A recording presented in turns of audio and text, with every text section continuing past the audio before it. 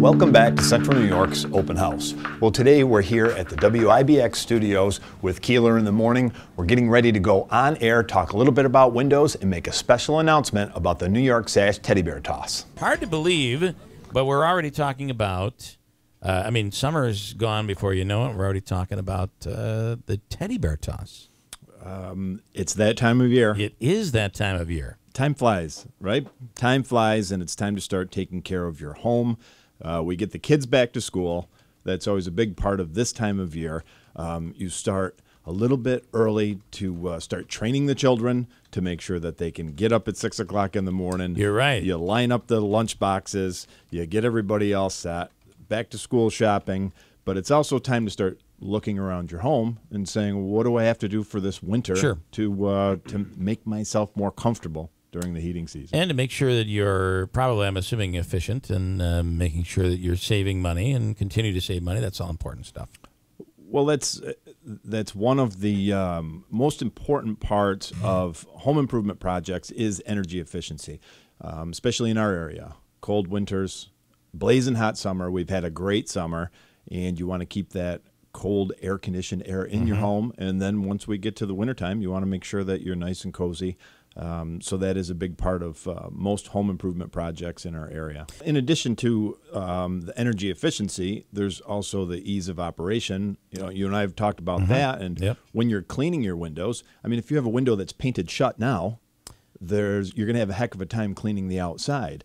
But if you have a window that just tips in for easy cleaning, or if you're trying to design a look for the aesthetics, so there are other um, Well, look at reasons uh, what- what- on our the front of our house when we had our windows done. The front Mm-hmm. of our house had these narrow little windows that went across the um, that went across the front. There were I don't know twelve or thirteen of them, and. Uh, if we would have put a bow window there or anything else, it would have changed the look. But you guys were able to come up with something and design something that fit, looked like the old windows, but so much better than uh, certainly the old windows. Well, technology today has advanced um, so much that we can customize a look to look like the old fashioned. Um, that's what you wanted to do. You wanted to replicate a look in your front porch.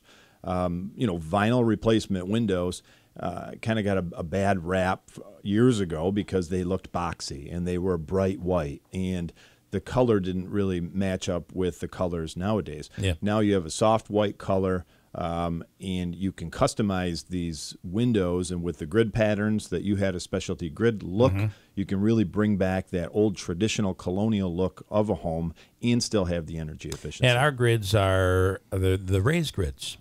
just like the old fashioned raised just grids. like the, the- Yep. you would not know other than the fact that they're pristine and they remain that way They- and they always will. and they always will all right uh, okay so what should people be doing to prepare um, it is you know i hate to say but before you know it we had a little taste of it on monday temperatures in the 70s overnight lows got down into the 40s uh, what, what should people do Um, well, you want to inspect all of your windows, um, make sure that they're properly sealed and caulked. Um, if they don't properly operate, maybe you want to look into replacing your windows. Um, maybe you don't want to put the plastic back up again this year. Um, there are other options. that stuff works so well i don't know why you wouldn't want to do it and it looks nice. Too. Yeah, I, I especially you put the, the hair dryer on it, it kind of bubbles out. It's fun. It's a lot of fun. Not really. And you you guys are doing a fifty percent off installation right now through the end of the month.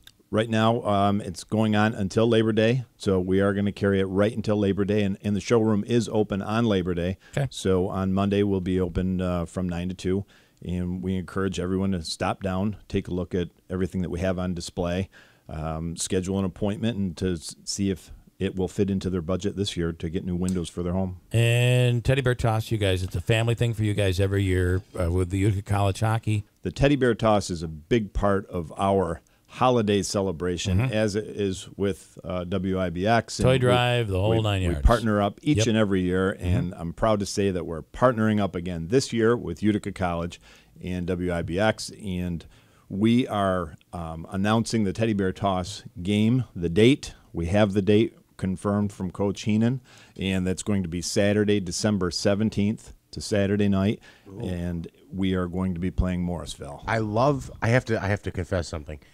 all these holiday celebrations happen, and a lot of times it comes early. Too early, I right. love the later date. yeah, because You're it's close right in the Christmas it's close to. Christmas. Yeah, I people are gonna be thinking about it. They're gonna. That's that's because there's been sometimes you've had to do it early, much earlier than that. Yeah, we've had to do it Yeah. A, a few weeks earlier than Yeah. that. Once Uh, he did it in July, I'm like, it doesn't it was make yeah, sense. it didn't. It really didn't. They don't even The- the play in ice- July. it yeah, was a tough, weird. It was a tough. They got game. four bears that year.